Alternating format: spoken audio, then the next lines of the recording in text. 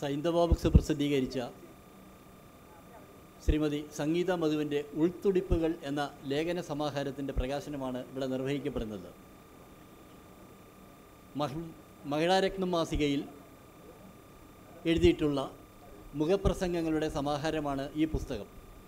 സ്ത്രീകളുമായി ബന്ധപ്പെട്ട വിഷയങ്ങൾ സ്ത്രീകളോടുള്ള സമീപനത്തിന്റെ രേഖകളായ ലേഖനങ്ങൾ അവയാണ് ഈ പുസ്തകത്തിലെ എല്ലാ ലേഖനങ്ങളിലും ഉൾപ്പെടുത്തിയിരിക്കുന്നത്. വിവിധ പുസ്തകങ്ങൾ രചിച്ചിട്ടുള്ള സംഗീത മധുവിന്റെ ഏറ്റവും പുതിയ പുസ്തകമാണിത്. ഈ പുസ്തകം ഇന്നിവിടെ പ്രകാശനം ചെയ്യാൻ എത്തിയിരിക്കുന്നത് ബഹുമാനപ്പെട്ട ജോർജ് ഓണക്കൂർ സാറാണ്. സാറിന് ഒരു ആമുഖത്തിന്റെ ആവശ്യമില്ല തിരുവനന്തപുരം നഗരത്തിൽ. പുസ്തകം ഏറ്റുവാങ്ങുന്നത് ശ്രീമതി ആർ പാർവതി ദേവിയാണ്. പാർവതി പാർവതി ചേച്ചിക്കും ഒരു ആമുഖത്തിന്റെ ആവശ്യമില്ലാത്തത് കൊണ്ട് ഞാൻ ഇരുവരെയും ഈ വേദിയിലേക്ക് സ്വാഗതം ചെയ്യുകയാണ്. പ്രകാശനം നിർവഹിച്ചതിന് ശേഷം പുസ്തകത്തെക്കുറിച്ച് ജോർജ് ഓണക്കൂർ സാർ പ്രസംഗിക്കുന്നതായിരിക്കും. പുസ്തക പ്രകാശനത്തിനായി വിശിഷ്ടാതിഥികളെ ക്ഷണിച്ചോളൂ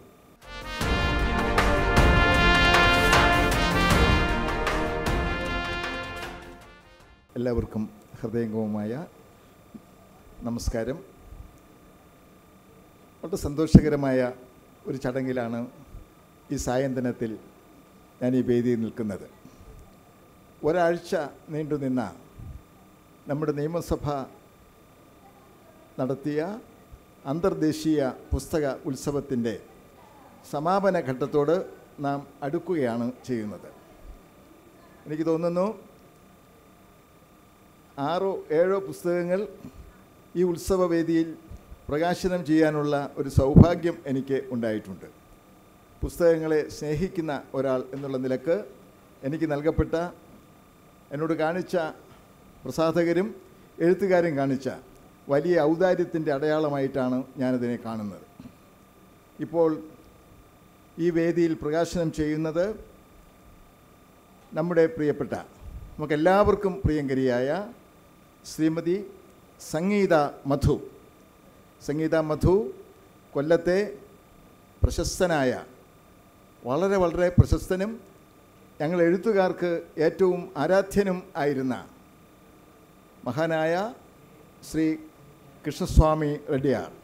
കുങ്കുമം നാന മഹിളാരത്നം അങ്ങനെ അങ്ങനെ ഒരു പറ്റം പുസ്തകം. Keraladesam Kerala Shabdam one two three four five എന്ന് പറയുന്ന മാതിരിയുള്ള പ്രസിദ്ധീകരണങ്ങളാണ് അതിന്റെ ഉടമസ്ഥനും പ്രധാന ശില്പിയും ആയിരുന്ന മഹാത്മാവ്. ആ മഹാത്മാവിനെ തൊട്ട് നമസ്കരിച്ച എന്റെ ഓർമ്മകൾ എന്റെ കൗമാര സ്മരണകൾ ഉണർന്നു വരികയാണ്. കാരണം കുങ്കുമത്തില കേരളദേശത്തിലാണ് എന്റെ ഉൾക്കടൽ കണ്ണശ പ്രസിദ്ധീകരിച്ചത് എന്ന് അഭിമാനത്തോടെ ഞാൻ ഓർമ്മിക്കുന്നു. അതുപോലെ ശ്രീ എൻ വി കൃഷ്ണവാര്യർ പത്രാധിപരായിരുന്ന സമയത്താണ് കൽത്താമര കുങ്കുമത്തിൽ പ്രകാശനം ചെയ്തത്. കൃഷ്ണസ്വാമി റെഡ്ഡിയാരുടെ പ്രിയപ്പെട്ട മകൾ ശ്രീമതി വിമല രാജകൃഷ്ണൻ. അവരെന്നോട് പറഞ്ഞിട്ടുണ്ട് അവർക്ക് ഏറ്റവും ഇഷ്ടപ്പെട്ട പുസ്തകം കൽത്താമരയാണ് എന്ന് പറഞ്ഞിട്ടുണ്ട്. അമ്മ എങ്ങനെ പറഞ്ഞിട്ടുണ്ട്? അപ്പോൾ ശ്രീമതി വിമല രാജകൃഷ്ണൻ അവരുടെ അകാലത്തിൽ നമ്മെ വിട്ടുപിരിഞ്ഞ ശ്രീ ബി എ രാജകൃഷ്ണൻ രാജാകൃഷ്ണൻ. രാജാകൃഷ്ണൻ മകൻ പ്രിയപ്പെട്ട മധു സദസ്സിൽ ഉണ്ട്. മധുവിന്റെ പ്രിയ പത്നിയാണ് സംഗീത മധു. ആ കുടുംബത്തിലേക്ക് കടന്നു വന്ന അഭ്യസ്ത വിദ്യയായ എന്ന് പറഞ്ഞാൽ അഞ്ച് പോസ്റ്റ് ഗ്രാജുവേറ്റ് ബിരുദമുള്ള ആളാണ് പ്രിയപ്പെട്ട സംഗീത മധു. അഞ്ച് പി ജി ഡിഗ്രി. എന്തുകൊണ്ട് സംഗീത തുടർന്ന് റിസർച്ച് ചെയ്ത് നമ്മുടെ വൈസ് ചാൻസലർമാരിൽ ഒരാളോ അല്ലെങ്കിൽ അതിനേക്കാൾ ഉയരത്തിലോ എത്തേണ്ട ഒരു വ്യക്തിത്വമാണ് സംഗീതയുടേത് എന്ന് എനിക്കെപ്പോഴും തോന്നിയിട്ടുണ്ട്. ഞാനത് സ്വകാര്യമായി സംഗീതയോട് ചോദിച്ചിട്ടുമുണ്ട്. മധു കേൾക്കാതെ. അതിനെനിക്ക് തന്ന മറുപടി അവരുടെ വിപ വിപുലമായ ബിസിനസ് സാമ്രാജ്യം അതിന്റെ ചക്രവർത്തിനിയായിട്ടാണ് അവരിപ്പോൾ വാഴുന്നത് എന്ന് ആണ്. അപ്പോൾ ഈ ചക്രവർത്തിനി പ്രിയപ്പെട്ട Sangeetha Madhu history post graduation M P A masters in journalism degree sociology mass communication ഇതെല്ലാം ബിരുദാനന്തര ബിരുദം നേടിയ ആളാണ് സംഗീത മധു. സംഗീതയുടെ മൂന്നാമത്തെ പുസ്തകമാണ് ഇവിടെ പ്രകാശനം ചെയ്യുന്നത്. ഉൾത്തുടിപ്പുകൾ എന്ന പുസ്തകം. ഉൾത്തുടിപ്പുകൾ.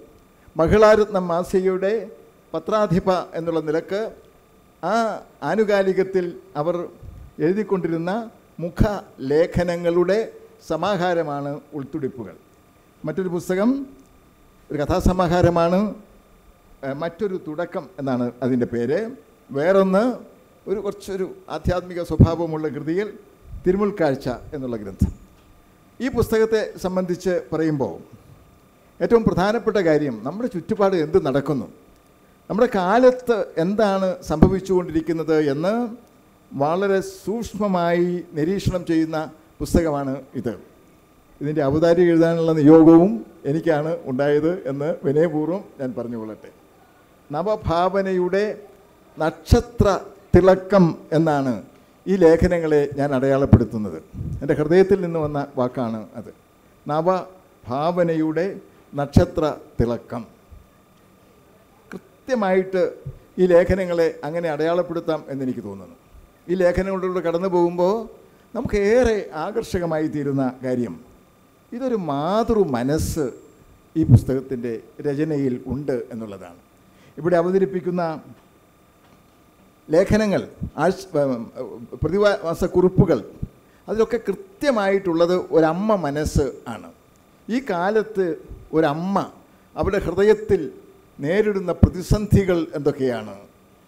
മക്കളുടെ കാര്യത്തിൽ അല്ലെങ്കിൽ അവർ വ്യാപരിക്കുന്ന വിദ്യാഭ്യാസ മണ്ഡലത്തിൽ കുടുംബങ്ങളിൽ ഒക്കെ എന്തെന്ത് പ്രതിസന്ധികളിലൂടെയാണ് കടന്നു പോകുന്നത് അതുപോലെ ഒരമ്മ ഒരു സ്ത്രീ തൊഴിലിടങ്ങളിൽ നേരിടുന്ന പ്രതിസന്ധികൾ എന്തൊക്കെയാണ്?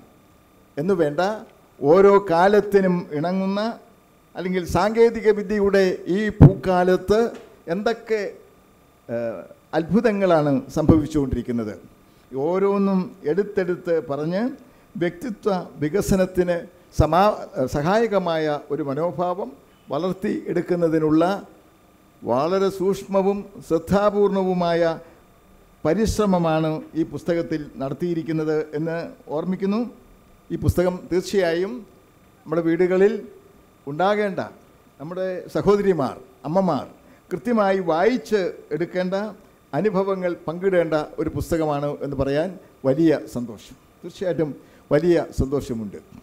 എനിക്ക് സംഗീതയുടെ ഈ വളർച്ചയിൽ ഒരു എഴുത്തുകാരി എന്നുള്ള നിലയിൽ ഉള്ള വളർച്ചയിൽ വലിയ സന്തോഷമുണ്ട്. ആ സന്തോഷം അതിനോട് ഞാൻ പറഞ്ഞിട്ടില്ല.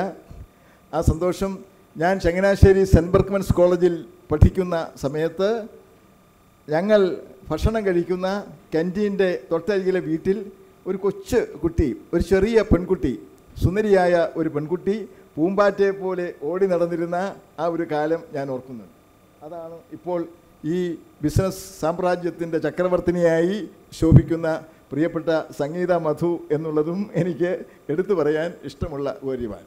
അതുകൊണ്ടൊരു പിതൃസഹജമായ വാത്സല്യത്തോടു കൂടി അങ്ങനെ പറയാനാണ് എനിക്കിഷ്ടം. സഹോദരി നിർവിശേഷമായ എന്നൊന്നും ഞാൻ പറയുന്നില്ല. ഒരച്ഛന്റെ മനസ്സോട് കൂടിയിട്ടാണ് ഈ പുസ്തകം ഞാൻ കയ്യിലെടുക്കുന്നത്.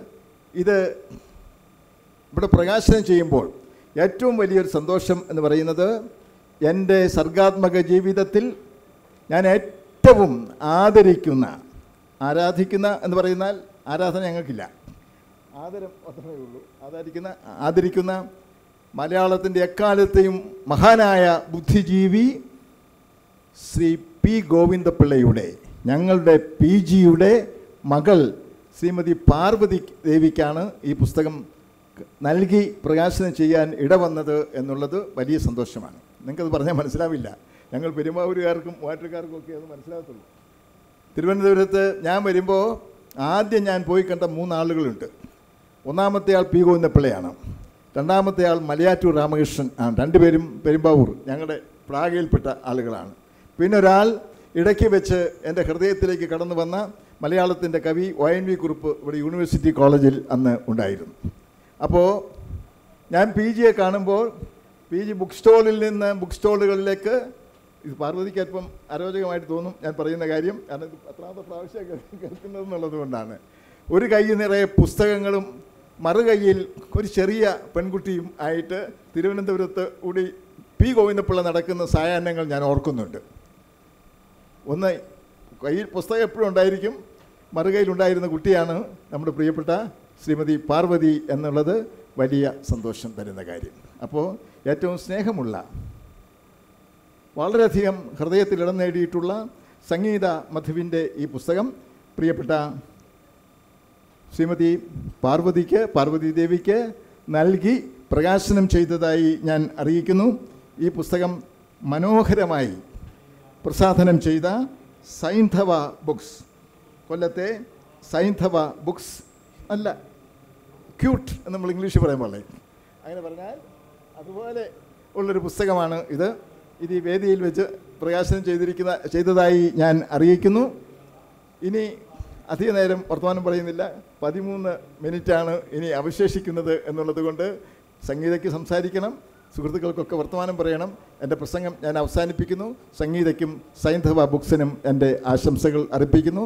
ഈ പുസ്തകോത്സവം ഇത്രയും വിജയകരമാക്കി തീർത്ത എഴുത്തുകാരെയും പ്രസാധകരെയും അഭിവാദ്യം ചെയ്തുകൊണ്ട് എന്റെ ഈ സംഭാഷണം അവസാനിപ്പിക്കുന്നു. പുസ്തകം സ്വീകരിച്ച ശ്രീമതി പാർവതി ഇപ്പോൾ സംസാരിക്കും.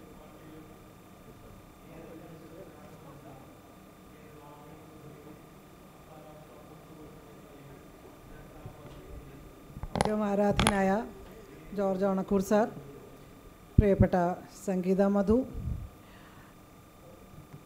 ഇത്തരത്തിൽ ഒരവസരം ജോർജ് ഓണക്കൂർ സാർ ഇവിടെ പറഞ്ഞ പോലെ ഞങ്ങളുടെ കുടുംബത്തിലെ ഒരാളാണ് ഏറ്റവും പ്രശസ്തനായ എഴുത്തുകാരൻ പ്രഭാഷകൻ സാറിന്റെ കയ്യിൽ നിന്ന് ഈ പുസ്തകം ഏറ്റുവാങ്ങാൻ കഴിഞ്ഞതിലുള്ള സന്തോഷം ആദ്യം തന്നെ അറിയിക്കട്ടെ. സംഗീതയെ എനിക്ക് നേരിട്ട് പരിചയമില്ല പക്ഷേ ഇവിടെ പറഞ്ഞ പോലെ കുങ്കുമവും കേരള ശബ്ദവുമായിട്ട് എനിക്കുമുണ്ട് ഒരടുത്ത ബന്ധം.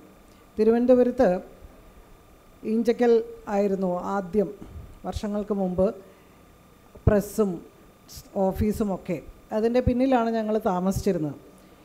എം എൻ ഗോവിന്ദൻ നായർ പ്രമുഖ കമ്മ്യൂണിസ്റ്റ് നേതാവായിരുന്ന എം എൻ ഗോവിന്ദൻ നായരുടെ അനിയൻ എം എൻ രാമചന്ദ്രൻ നായർ വളരെ കാലം അവ- അവിടെ മാനേജറായിരുന്നു എന്റെ അമ്മാവനാണ്. അതുകൊണ്ട് കുങ്കുമം കേരള ശബ്ദം എന്ന് പറഞ്ഞാൽ ആ പ്രസ്സിലൊക്കെ പോവുക അവിടെ നിന്ന് ഇങ്ങനെ വലിയ റോളായി കിടക്കുന്ന കടലാസുകൾ ന്യൂസ് പ്രിന്റ് എടുക്കുക അതിൽ നിന്ന് അവിടെ ഉള്ള പെയിന്റ് അതിന്റെ കുറേ ചായമൊക്കെയാണ് എന്റെ മനസ്സിൽ ഓർമ്മയുള്ളത്.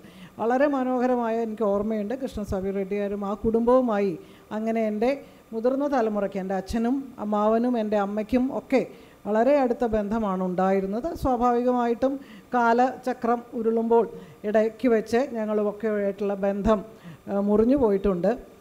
പക്ഷേ തീർച്ചയായിട്ടും ഇപ്പോൾ ഇന്നലെയാണ് എന്നോട് സംഗീത ഞാൻ ജയകുമാർ സാറിന് പകരക്കാരിയായിട്ടാണ് ഇവിടെ നിൽക്കുന്നത്.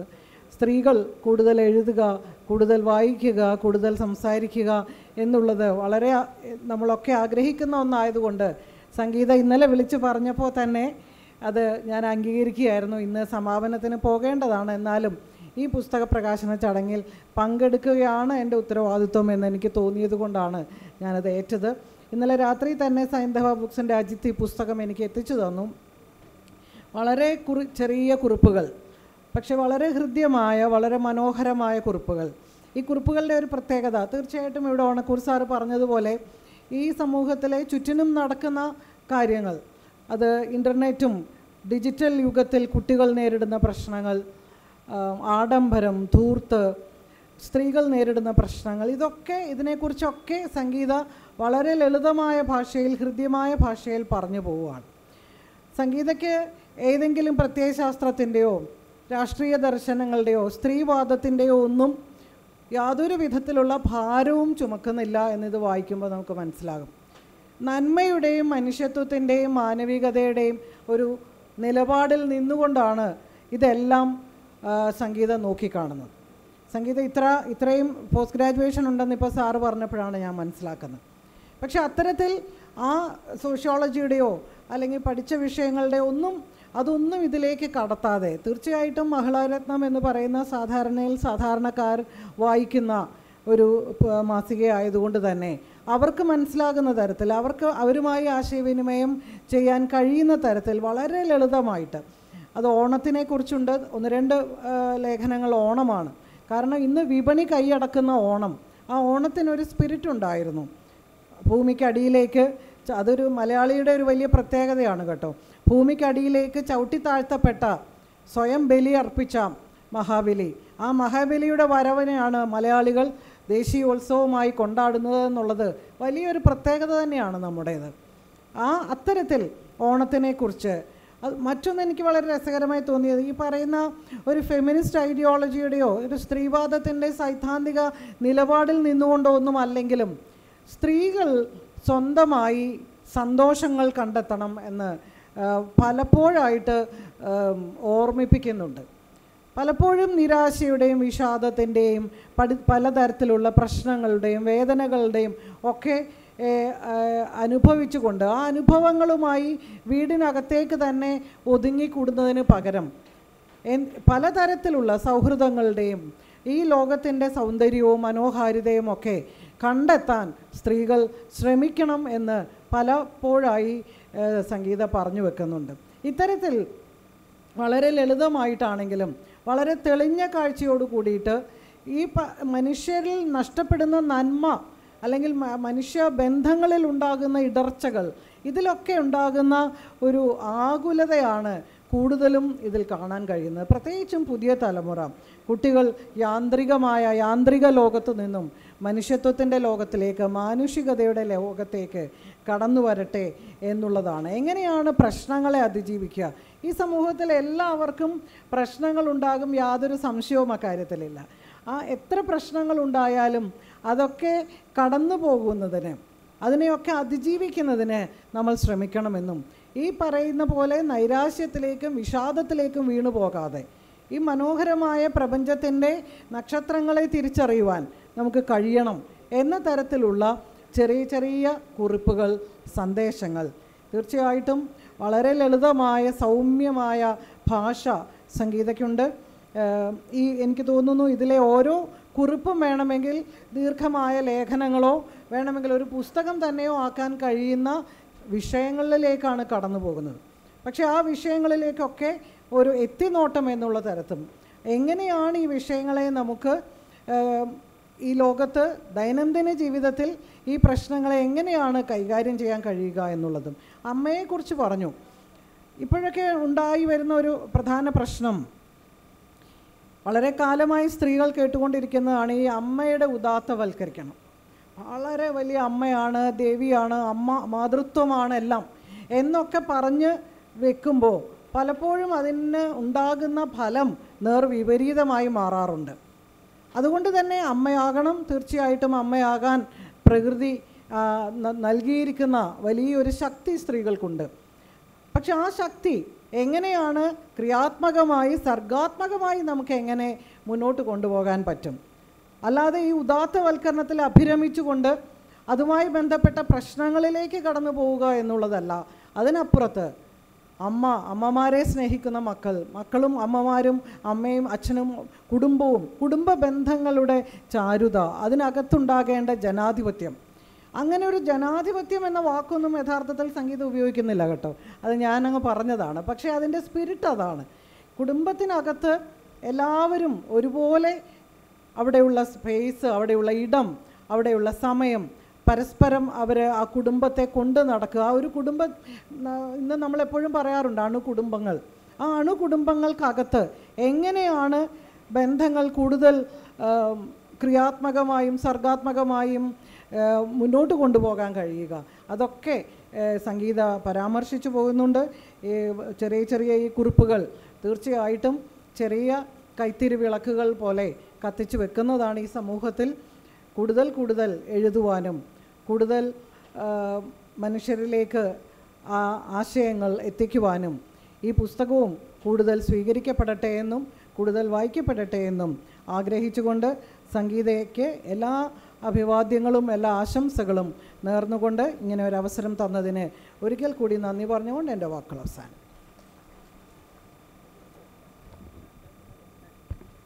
മലയാളത്തിൽ ഒരുപക്ഷെ ഏറ്റവും കൂടുതൽ മാഗസിനുകളുടെ പത്രാധിപ സ്ഥാനം വഹിക്കുന്ന ഒരു വ്യക്തി ഒരുപക്ഷെ സംഗീത മധുവായിരിക്കും. നാന ജ്യോതിഷരത്നം മഹിളാരത്നം ഹാസ്യ കൈരളി എന്നിവയുടെ മുഖ്യ പത്രാധിപയും ഒപ്പം തന്നെ സംഗീതയുടെ ഭർത്താവ് മധു ബാലകൃഷ്ണന്റെ നേതൃത്വത്തിൽ പ്രവർത്തിക്കുന്ന കേരള ശബ്ദത്തിനകത്ത് ആവശ്യമായ മാർഗനിർദ്ദേശങ്ങളും ഒക്കെ നൽകുന്ന വ്യക്തിയാണ്. അതിനാൽ അക്ഷരങ്ങൾ സംഗീതയ്ക്ക് ഏറ്റവും അടുത്ത ഒരു ബന്ധമാണ്. അപ്പോൾ ഈ പുസ്തകത്തെക്കുറിച്ച് രണ്ട് വാക്ക് സംസാരിക്കുവാനായി സംഗീത മധുവിനെ ക്ഷണിച്ചു പോകും